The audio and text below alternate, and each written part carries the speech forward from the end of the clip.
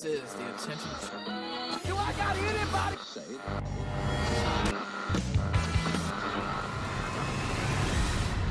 Gadget Gurus Network. What's up, guys? It's Geoff Farina from iPhone Docked and the Simulcast, and I'm finally going to unbox the new Apple TV. I pre ordered this guy about 10 minutes after the announcement at Apple's fall event, and it's now Monday, October 4th. I'm getting mine technically a week later than everybody else. I don't really understand how their pre order process works, especially because I did pre order it literally right after it became available.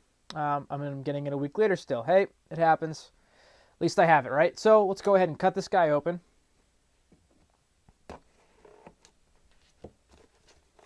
Been waiting for this for a while, so it's finally here. And it's a very, very, very, very, very small box. Much smaller than I was expecting. I'm going to rename this thing the Hockey Puck. And let's go ahead and cut this plastic here.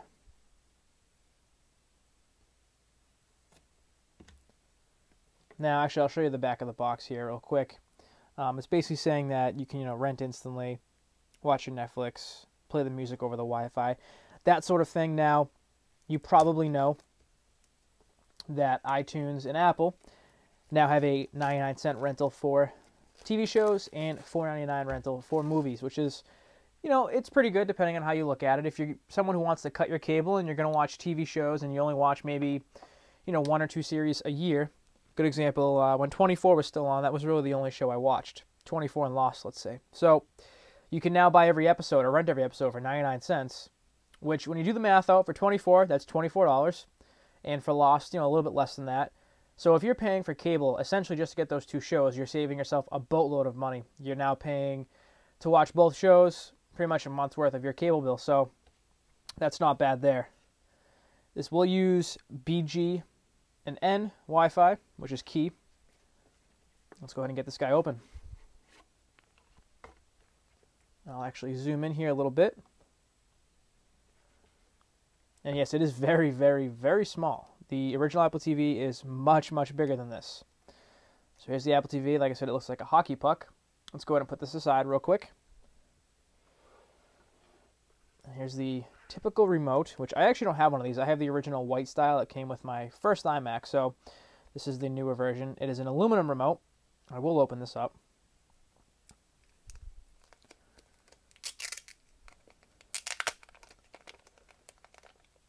This, of course, follows the same theme as all their stuff as being aluminum. You have a quick menu play button as well as your D-pad, and that's where you'll put your battery in. Let's go ahead and put that aside.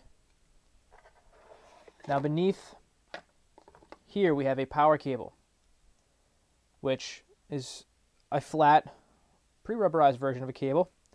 Plugs right into a wall in the back of your Apple TV itself. There's no power brick, which is very nice. And then there's also going to be a setup guide, as well as some stickers. So they do give you stickers, which is nice to keep that consistent there. And some more information about the Apple TV there. So I'm really not going to read the manual, to be very honest, because in reality, who reads the manual? especially if you're a geek of some kind. So let's put this stuff aside. And let's get to the Apple TV here. So the bottom is actually rubberized. Or, yeah, it's like a rubber coating, I would say, actually, on, on some plastic. Of course, you have the Apple logo there. Now on the back, let's go ahead and pull this sticker off. That keeps it shiny. And hopefully you can see here, I'm going to zoom in because I want to keep near the light. We have the port for the power. We have your HDMI out or in, however way you look at it. Your optical audio, and then your Ethernet. Now you will have a micro USB port here. Now that's for service according to Apple. But you've been following the news, that's how you can actually jailbreak the device. So actually what I'm going to do now is get this guy set up on my entertainment stand, get it booted up, get it playing some music, some of the movies that I have on my MacBook Pro, and we'll be right back once I get that going. Very briefly, actually, before I do that, I want to give you a size comparison. So we have the Apple TV here. Now we'll slowly zoom out, and we'll actually put an iPhone directly next to it. So as you can see there, you can kind of do the math yourself. Here's the iPhone, here's the Apple TV. So move this up a little bit. So it's tiny. Obviously, when we look at the thickness, it's a different story. But the Apple TV, nonetheless, is tiny It does weigh. All right, and we're back, and this is the Apple TV setup on my home theater stand, on my TV stand here. Now, I took off my Xbox 360 HD DVD drive to make room for the Apple TV, but I think I might bring it back and just put the Apple TV on top of it because it's definitely small and quaint looking compared to everything else as you see here. All right, now we're going to go through the setup very briefly. As you can see here, this is the main screen, and of course, we're doing English. Now I have my Apple TV hardwired just for the time being to see how the connection works that way. I'm going to say no. I always do with this sort of thing, especially you know with jailbreaking, whatever it may be.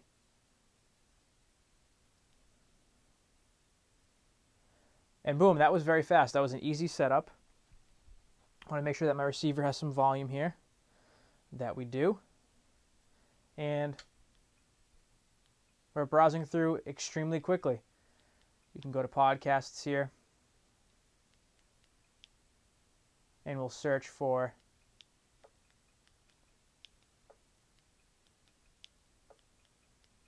the simulcast.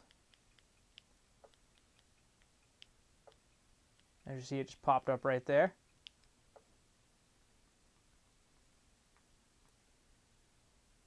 And it's the very first one.